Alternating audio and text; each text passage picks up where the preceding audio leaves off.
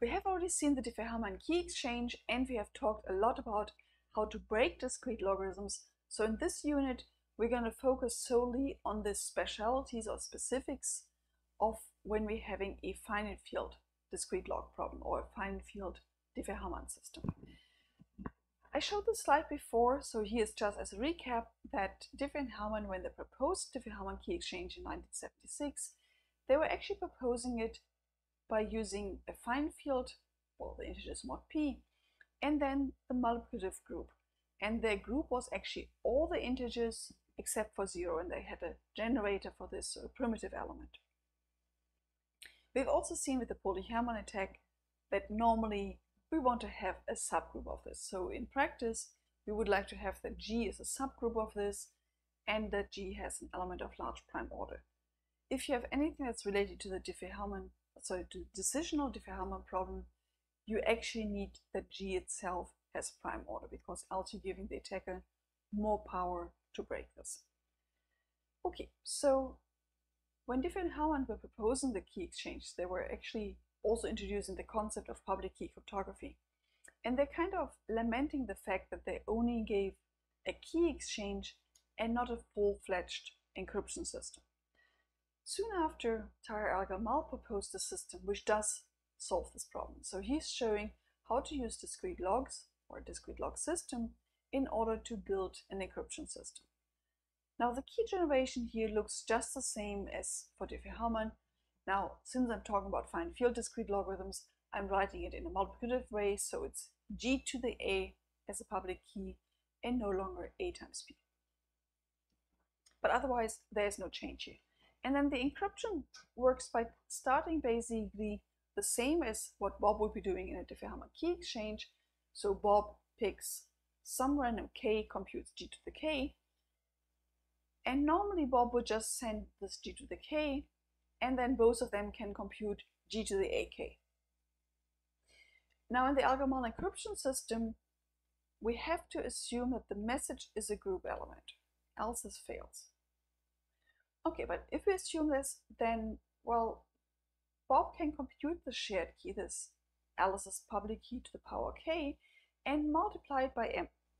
Well, since the observer doesn't know what the message is, they also don't learn this joint key, or the other way around, since the observer doesn't know what Alice's private key is or what K-Bob shows, they can't figure out what the message is. So, okay, fine, seems safe. And then Bob sends R and C to Alice. Alice wants to decrypt this. She takes the ciphertext and divides by, well, R, which is the first component, to her private exponent A. And I've been writing that this is M, so let's prove that this is actually the message. So let's plug in what C is. Well, C was Alice's public key times the message. Now Alice's public key is G to the A and then was raised to the kth power. So there's a G to the AK there. And then this R to the A, that's also G to the K to the A. So these two cancel and indeed we get M. So there's some positive aspects of El-Gamal encryption. If you compare it with RSA, well, we have seen in RSA it was a deterministic system. This is actually a randomized system.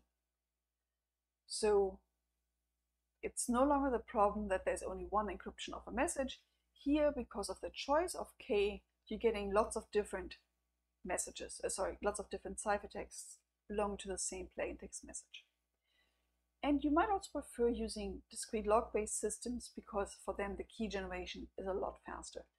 Compared to finding two primes p and q with as many bits as you need, computing just an exponentiation is super easy. There's only like one randomness needed and everything here goes from there. So it's no longer this, well, get an odd number, check whether it's prime, oh, we fail again, and random, or not random, I mean, depending on the randomness, number of loops to try this. So that's nice.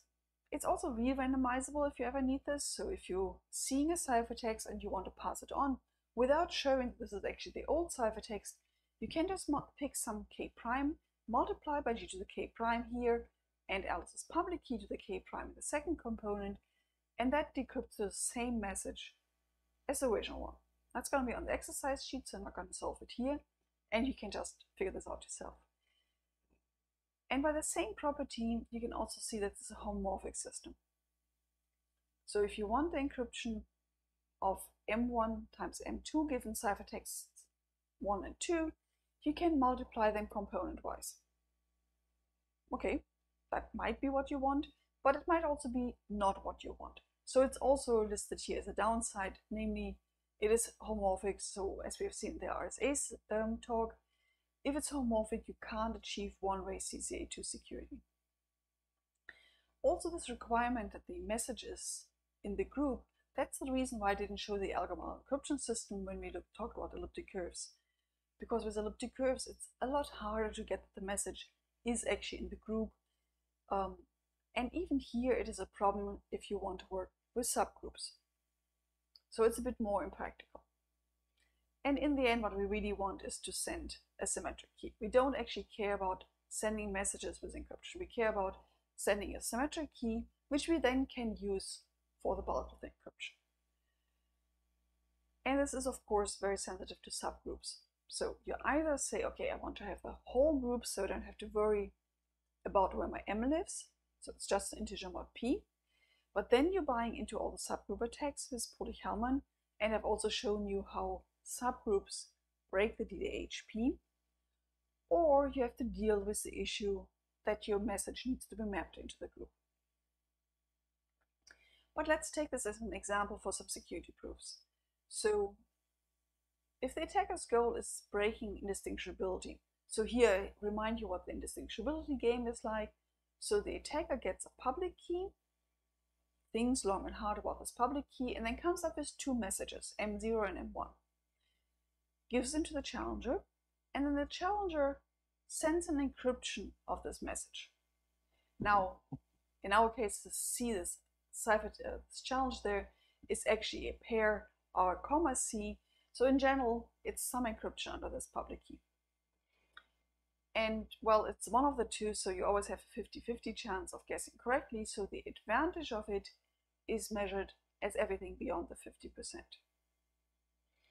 We're only giving CPA security, uh, it's only CPA access, so that means well, you get in the public key and nothing else. You can encrypt yourself if you want to, if it helps you, but nothing, no oracle for decryption. Okay, now DDHP, remind you, this was, you're giving a triple G to the A, G to the B, some G to the C, and you want to figure out whether this matches, whether this is actually a Diffie-Hellman key. So whether G to the C is equal to G to the A times B. Now, we're given a challenge for the ElGamal system. So here's the ciphertext that we're seeing, and we need to decide if you're playing this indistinguishability game, we need to decide whether the message was zero or the message was one. Let's look at a moment for taking the, the C part and dividing it by M0. So, well, we can compute this thing. There's no secret information there. We're seeing the C, divided by the M0, which we picked ourselves. And now, if, M, uh, if the bit was 0, then what we're seeing there is, well, the public key of Alice is the G to the A, the R is the G to the K, and now we have taken the ciphertext and divided out the M0. So we're seeing here a G to the AK. So if the if i equals 0, what we're seeing here is a valid Diffie-Hellman trip. If i equals 1, well, hmm, this looks fairly random. So the beginning is the same, but then we have an M1 in the ciphertext part and then 0 that we're dividing out. So this is definitely not a valid triple. So if somebody gives us an oracle to decide on DDH, we can just query it on this input. So if we can solve the discrete uh, decision Diffie-Hellman problem, we can also break the indistinguishability under chosen plaintext attacks. Normally, we want the reduction to go the other way around. We want to figure out whether the ElGamal model is secure. We want to say, well, we can reduce this, uh, so we can reduce the decision Diffie-Hellman problem to breaking IND-CPA. And well, as a subject line, as a title suggests, we can do that So let's jump right in. So we want to use our IND-CPA attack A to break DDHP. That's what it means to compute this reduction or to come up with this reduction. And so we're given such a triple, we need to figure out whether it's a valid triple. And the first step we do is, well, A needs to get a public key, so we're sending it the first component, this G to the A. Then A gives us the challenge messages. And what we do is we pick randomly, and this is really 50-50 picking, an i in 0 and 1. And then we send the g to the b that we're given in our triple. We get sending g to the c in the triple times mi. Now, the attacker, well, this algorithm A, will come up back with decision. A will decide whether this is M0 or M1. And if the reply matches the I that we have chosen, so if we put in M0 and A says M0, if we put in M1 and A says M1, we're going to answer it's a valid triple. And if it doesn't match, we're going to say it's not valid. Remember, if it was the correct guess, well, up here, let's take physic M0. So if it guesses correctly and was M0, then it has actually told us that this first part and the GA are a valid triple, that it actually has this format of G to the AK. And if it says the other one, well, maybe it's not very good at breaking um, the IND-CPA security. Or maybe the input we had was not actually a valid triple. Okay, so let's see whether we're actually feeding A something where A can run properly. And short summary, no, we don't always, but we sometimes do. Now, if we gotten, if our challenge was a valid triple, if we're actually getting g to the a, g to the b, g to c with this property that c equals ab, then, well, the inputs that a is getting match the inputs that a is expecting from the game. If not, well, then there is some random g to the c, which has nothing to do with Alice's public key and this r part. And so A does not get any information from the challenge ciphertext, so A doesn't have any advantage over guessing. And so we can now relate the advantage of A to the advantage that we have in breaking the decision Diffie-Hellman problem by following this rule here. Okay, so if A has advantage epsilon at IND-CPA, then that means, well, it has a success probability of 1 half plus epsilon. And then in the case that it's a valid triple, we're getting the same success probability. If it's not a valid uh, triple, which happens with 50-50, so 1 half probability of that, A just guesses randomly, so it has a half chance of success. And that sums together to an advantage of epsilon over 2. So that is pretty closely related. It's factor of 2 off, but it's roughly as hard as the DHP. Now I was saying before that what we actually want to do is get a symmetric key. And so I want to choose the second half of this lecture, or second part of this lecture, to introduce the concept of the KEM-DEM framework. So this is formalizing the idea that we use the public key system only to transport a symmetric key. So let me start with the second part, what DEM expands to. So DEM stands for Data Encapsulation Mechanism. So that is just another fancy name for the normal symmetric key authenticated encryption. So we're given a secret key, we're given a message, a symmetric key and a message, and then we run our block cipher, some mode or a stream cipher, and in any case, very, very importantly, we also run a MAC. So we have an authenticated encryption system there. And then the first part, the KEM part, is called a key encapsulation mechanism. Now the part, the first part, the key generation, looks the same as in a public key encryption system. So we're generating a key pair consisting of a public key and a private key. But that encapsulation is different from encryption. So encryption would be taking a public key and a message and produce a ciphertext. Encapsulation takes only a key. Okay, will generate some internal randomness, but they always do. So takes this key and produces a ciphertext and a shared key. So that's a shared key for the DEM part. And then decapsulation is sort of the inverse function of encapsulation.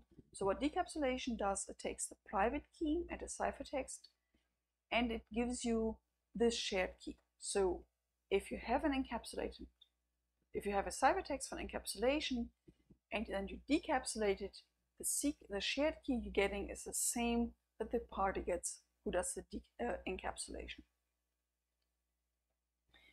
Now this is actually a good formaliz formalization of the semi-static Diffie-Hellman system. So I've seen this already some, some lectures back, actually was the first discrete log system lecture where I showed this. And so if I now give you the fine field version of it, then the key generation, well, works just like you pick your A and you send uh, the public key is G to the A. So let me call this public key as like on the last slide H sub A. And then the encapsulation that is similar to well, semi-static Diffie-Hellman, similar to the first part in ElGamal. So you're picking a random exponent, you're computing uh, g to the r, and then on this value, that's the h part, that's the ciphertext. Might look strange to you to call this a ciphertext before this was called the Diffie-Hellman share, but in the KEM-DEM framework, this is called the ciphertext. And then the shared key that we're computing is the shared Diffie-Hellman key, just like before. So we're taking Alice's public key to our R, and we're running a key derivation function on it. So the output of the encapsulation is H as a ciphertext and capital K as a shared key. And then the decapsulation, well, we want to get the same K there. So decapsulation takes this first component, the ciphertext H, raises this to our private key A, and computes the KDF er on that. Well, and it gives you that K prime. And then the claim is that the K prime matches K. So let's go through that in detail. K prime is the KDF of H of A. H of A, well, that's G to the R chosen up here to the A. And so again, that is the same as Alice's public key to the power of R, which is what Bob was computing here. Okay, so this is the um, framing of static Diffie-Hellman or semi-static Diffie-Hellman. Alice's key is static, Bob's key is just for the transmission. Uh, the framing of this in the KEM-DEM framework. So this is the modern way of thinking of um, Diffie-Hellman encryption. You're getting a shared key out of it and you're getting a ciphertext. Well, the ciphertext previously was known as Bob's key share.